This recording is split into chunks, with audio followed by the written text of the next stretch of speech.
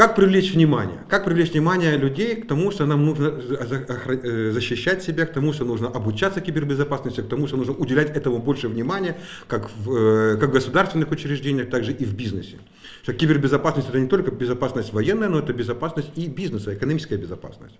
И мы решили провести форум э, и киберолимпиаду, чтобы посмотреть, кто из наших ребят хочет поучаствовать, кто интересуется этими вопросами, кто сможет победить и начать создавать какую-то планку, планку подъема. А сколько мы пройдем?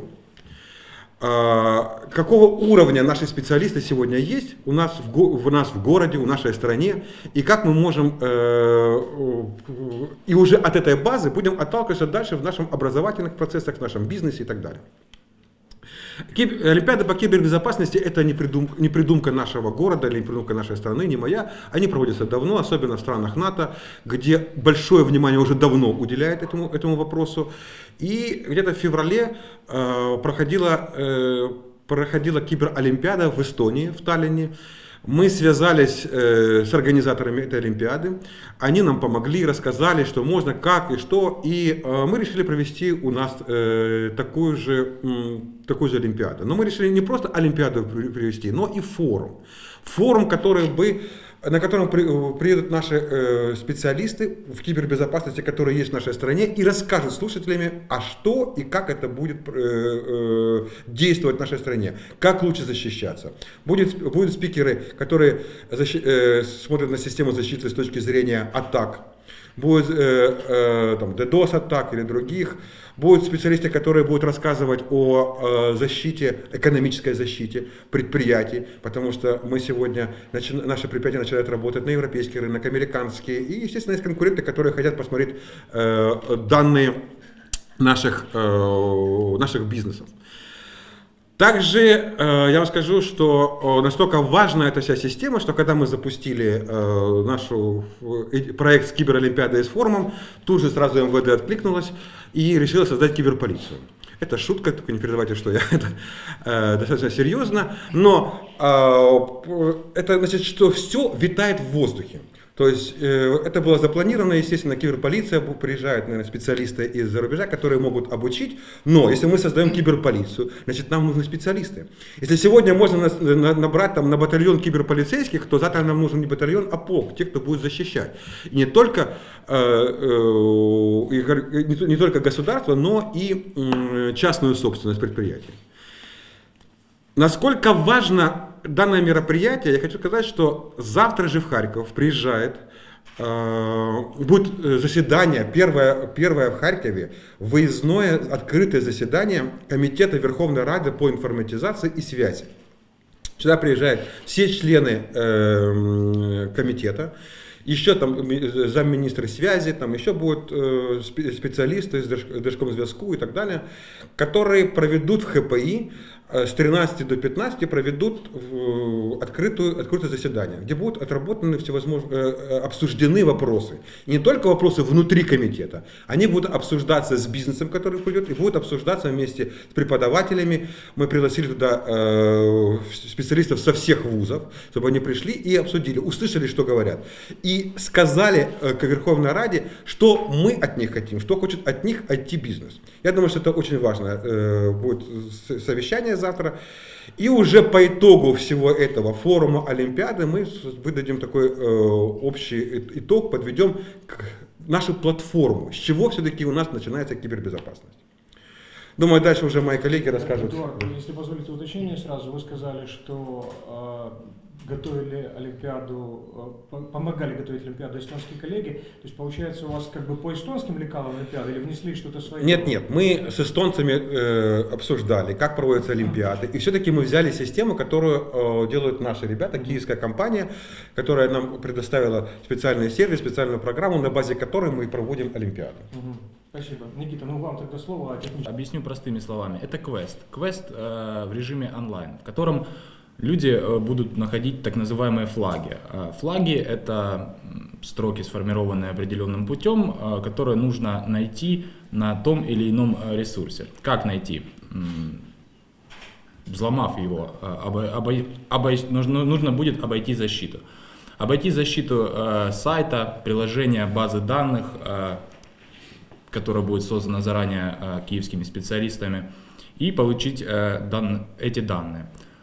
Кроме того, хочу сказать, что для многих слово хакинг, слово киберолимпиада ассоциируется с таким скучным собранием людей, которые будут сидеть э, за компьютерами и два часа, будем так говорить, втыкать э, в монитор. Да?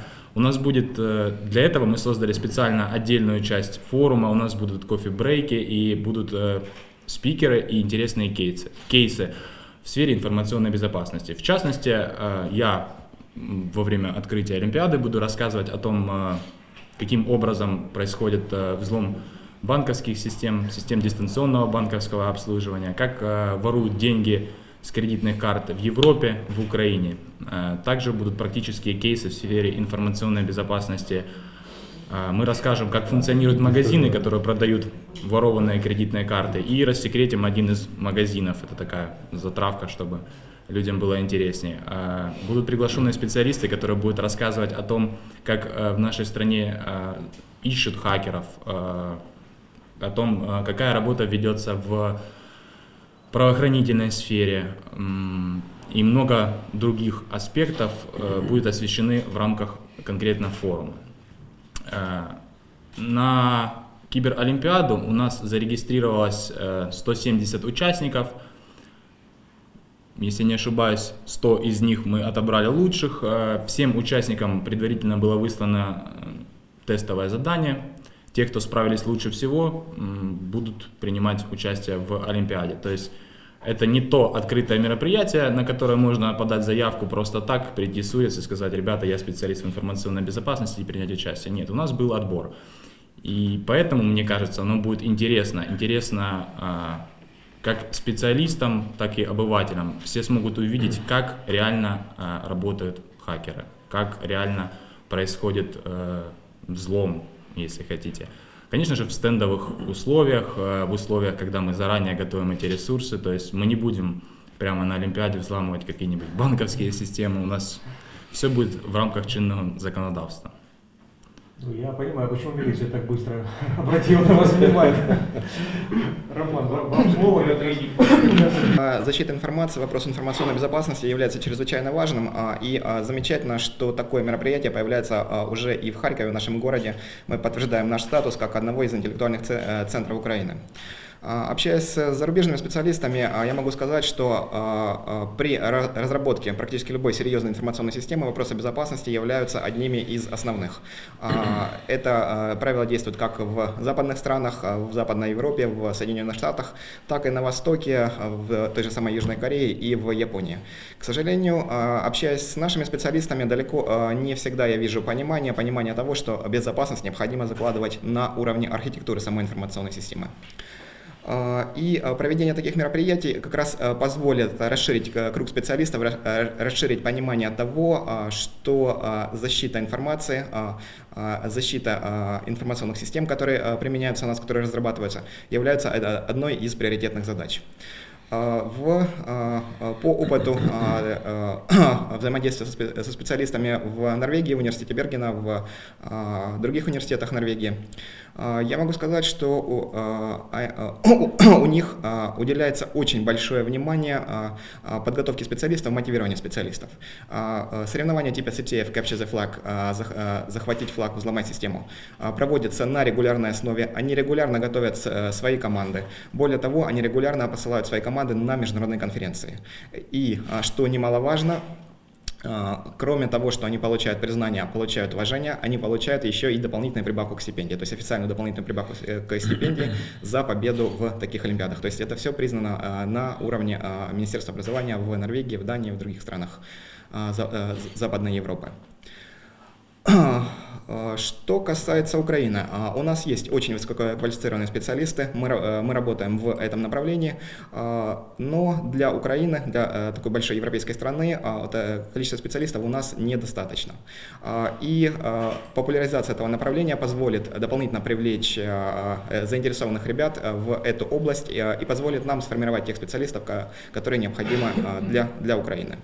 А, по нашим результатам, а, по результатам, которые получены в Украине за, а, ну вот, в текущем году, можно отметить, что у нас сейчас в Украине введены два новых национальных стандарта в области криптографии.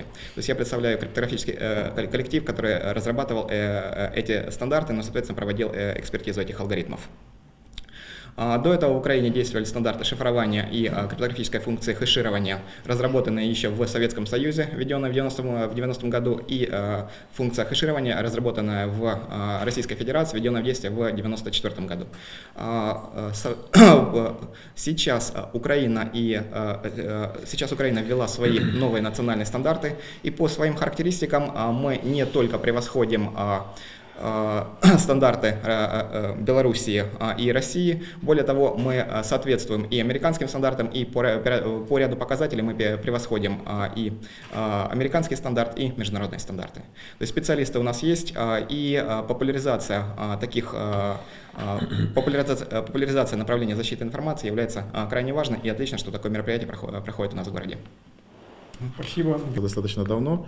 Это говорит и о том, ну, Э, что у нас открыто было три специальности, которые так или иначе пересекаются с вопросами защиты информации. Это наибольшее количество специальностей было в городе Харькове. Вот одну из них представляет в том числе и Роман, это э, защита в информационных и коммуникационных системах. Э, одна из них это управление информационной безопасностью, которая у нас на базе кафедры телекоммуникаций. То есть это все то, что связано с, непосредственно с защитой в телекоммуникационных системах и как строить организационно такие системы. И еще одно направление, которое тоже у нас является таким очень эксклюзивным, это система технической защиты информации. То есть на базе кафедры радиотехники у нас уже давно существует набор на эту специальность. Все эти специальности, в принципе, э, пользуются спросом. То есть нельзя сказать, что мы там страдаем от того, что люди на нее не идут. Сейчас, ну, у нас какое-то особое время, сейчас на слуху слово кибербезопасность, и э, возникли новые галузи знаний то есть э, области знаний. Э, с 2016 года у нас будет единственная область знаний кибербезопасность, э, которая является преемницей всех тех трех направлений, о которых я говорил. И поэтому сейчас как раз закладываются основы, что именно специалист в области кибербезопасности должен знать. По сути, это сумма разных в том числе и инженерных знаний. Без этого специалистом кибербезопасности стать очень сложно. Поэтому такие мероприятия, как форум и Олимпиада, они способствуют, по моему мнению, в первую очередь тому, что создается сообщество, комьюнити, тех людей, которые понимают одни и те же проблемы, работают над созданием, опять же, системы защиты информации в нашей стране и так далее. Это очень важно, поэтому э, специалисты всех, не только э, наших кафедр будут на этом мероприятии, студенты э, приглашены, которые тоже будут и в форуме, и в Олимпиаде пытаться участвовать и показывать свои знания. Но э, это перспективно, это актуально, и университет э, понимает, э, скажем, насколько это приоритетно. Я думаю, что в ближайшем времени мы будем, опять же, делать некие, может быть, даже структурные изменения внутри университета с точки зрения того, чтобы это направление было, ну, выделено, обособлено и приоритетно с точки зрения подготовки специалистов. Э, если говорить о самом формате, то это очень интересный для молодежи формат. Я тоже был участником различных олимпиад, ну, например, там, я был три года судьей там, Microsoft Imaging Cup, да, такого соревнования. То есть, конечно же, для молодежи должен быть соревновательный момент, должен быть мотивационный момент, который позволяет ему ну, стремиться к достижению. Поэтому квест это одно из замечательных э, форматов, которые только стоит приветствовать. Ну, Спасибо, кратко. Скажи, пожалуйста, Олимпиада, я имею в виду. Ну, это. Ну, я думаю, Оргкомитет. Харьков. Харьков, да, ну, потому что это здесь на месте, и э, Киев, а? да. э, Ки, э, из Киева, э, по-моему, даже регистрировались из Львова, да? Да. да. Со всей Украины, Со всей Украины. подавали заявки, вопрос в том, кто прошел.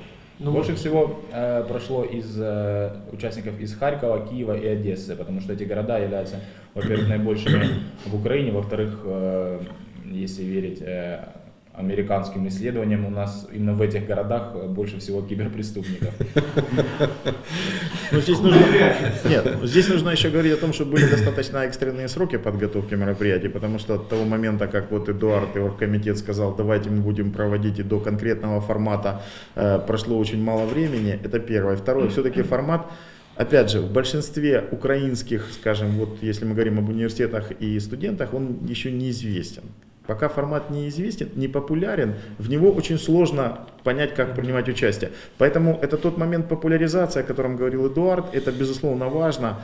И я думаю, что если оно должно пройти успешное мероприятие, то вот всякие различные инфоматериалы, инфоволна должна на следующем этапе привлечь большее количество. То есть, вот, как бы такие же цели ставятся в основном. И мы объединили, объединили форум и саму киберолимпиаду, потому что э, именно Олимпиада это соревновательная вещь, и форум должен привлечь людей, которые вообще хотят послушать, посмотреть, как соревнуются, и увидеть вообще, э, что у нас происходит. Вот я сказал, что мы хотим первое провести такую, такую Олимпиаду, чтобы понять точку отсчета, от чего мы вообще сегодня отходим. Потому что, да, у нас очень много кибер, э, киберзащитников, кибернападателей в стране. И, как сказал Никита, известно. И киберхулиганов, да, простых. Но э, мы хотим понять уровень, какой он есть. У нас э, мы понимаем, с кем мы можем потом сравниваться, например, на международном уровне. Да, потому что сегодня известно, э, больше всего украинских хакеров, американские сайты взламывают украинские хакеры. Ну, э, ну, посмотрим, будут ли они участвовать у нас.